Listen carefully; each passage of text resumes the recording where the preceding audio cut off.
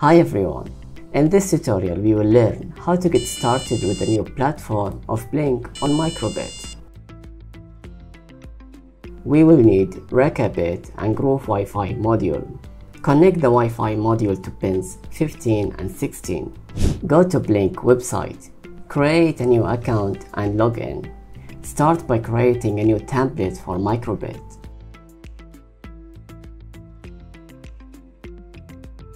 From data stream, add a virtual pin.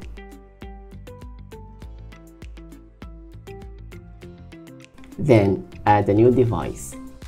Select the template that you have created. From Web Dashboard, add a switch.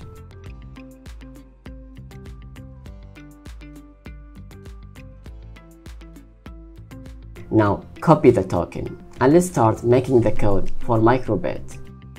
On MakeCode Editor, add the Grove Wi-Fi extension.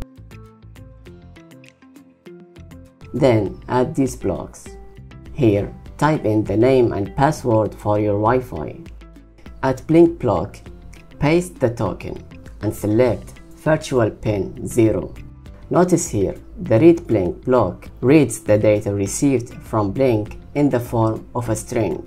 So parse to number block is used to convert it into an integer.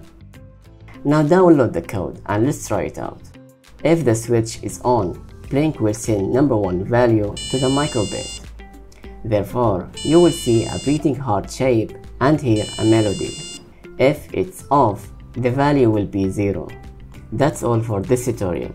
Go ahead and improve this code to make better IoT projects with Blynk.